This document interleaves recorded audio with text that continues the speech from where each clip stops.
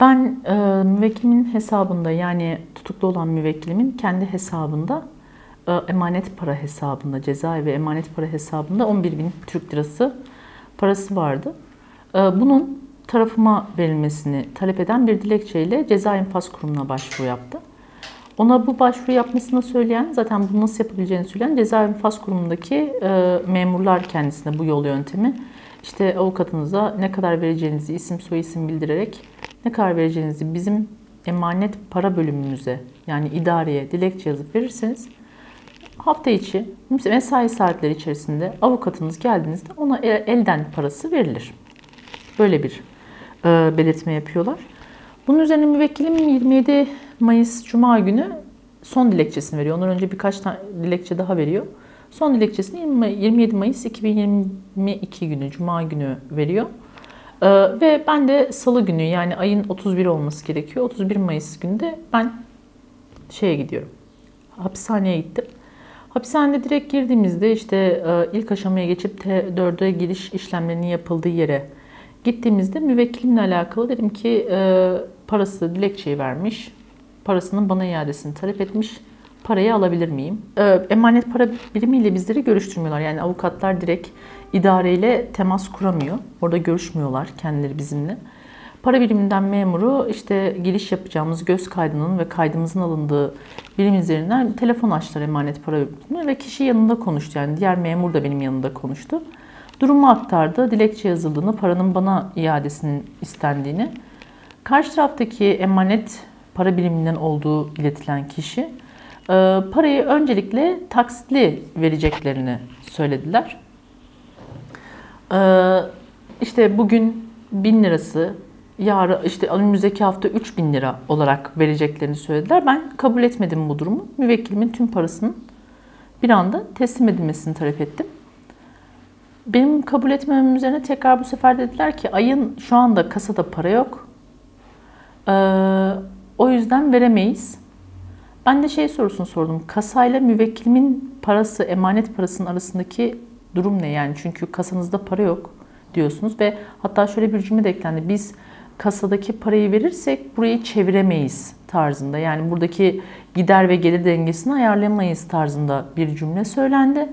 Ben de emanet parayla yani müvekkilime ait kendi hesabı cezaevinde müvekkilime ait bulunan parayla kasanın ne ilişkisinin olduğunu sordum. Bana dönüp dediler ki ayın 10'unda gelin yani 10 Haziran'da gelin biz size tüm parayı elden verelim. Ben neden 10 Haziran'da geleceğimi sorguladım bu sefer. Ben dedim şimdi almak istiyorum.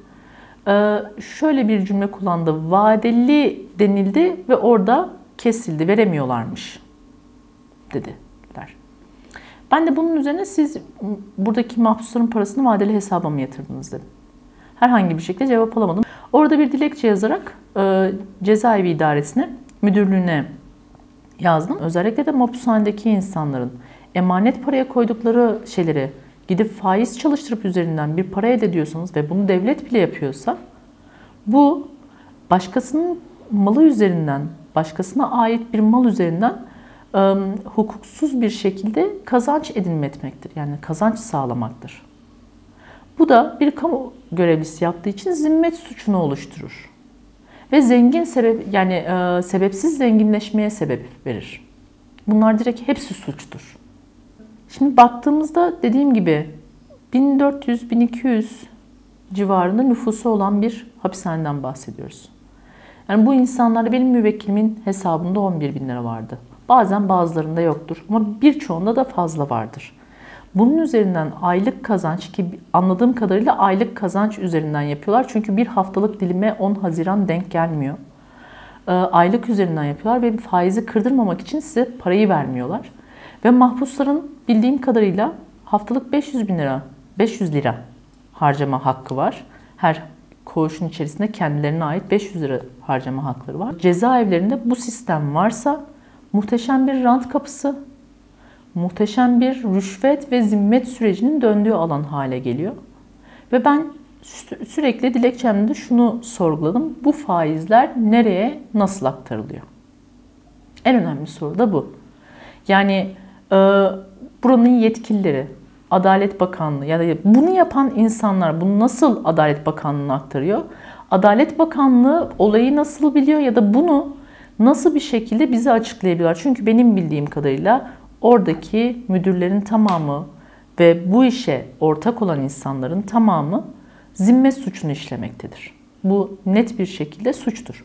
Cezaevi içerisinde tekrar müvekkilimle görüşmeye gittim. Müvekkilimi sürekli sıkıştırmışlar. Avukatınız gelsin, avukatınız gelsin, avukatınız gelsin diye. Sonra tanımadığım bir numara üzerinden işte e, müvekkilimin yönlendirdiği, cezaevinde tutuklu olan bir müvekkilimin yönlendirdiği, buraya acil cezaevine acil gitmem gerektiği ve para işini halletmem gerektiği ile ilgili bir e, mesaj geldi telefonuma. E, müvekkilimle gidip bugün görüştüğümde de cezaevine evet gittim. Müvekkilimle de görüştüğümde de müvekkilimin yani şey dediği orada birisine mesaj çektirdiler sizin telefonunuzu alıp sizi acil yani benim kafamı bile koydurmadılar yastığa. Bir de müvekkilim yaşlı. Sürekli işte e, şey parasını ne, paranı ne zaman gelip alacak? Avukatını çağırıp avukatın gelsin. Kendisi şunu belirtmesine rağmen işte telefon görüş hakkım yok, kamera görüş hakkım yok. Ben haber veremem yani şu an. Müvekkil ne zaman ama avukat ne zaman gelirse o zaman alır demesine rağmen düşünün ya bir gardiyan ya da oradan birisinin aracıyla tutukluların telefonu olmadığı için tutuklu ve hükümlü.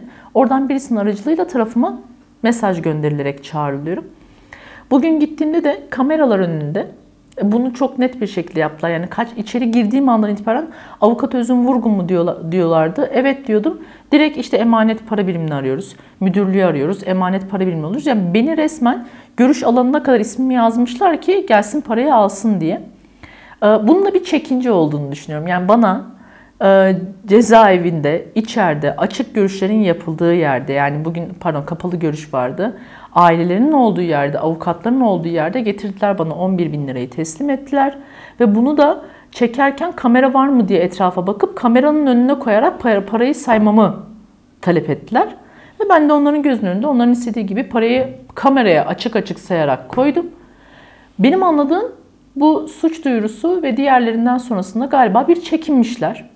Biz buradan bir kez daha soruyoruz. Mahpusların parası üzerinden faiz kazanım elde ediyor musunuz? Bunun üzerinden bir para kazanıyor musunuz? Biz bunu Adalet Bakanlığı'na soruyoruz aslında. Eğer böyle bir durum varsa kesinlikle mahpusların ailelerinin, avukatlarının eğer yüklü miktarda içeride parası olan mahpusların gidip talep etmelerini, ona göre de sürecin açığa çıkacağını e, biliyoruz.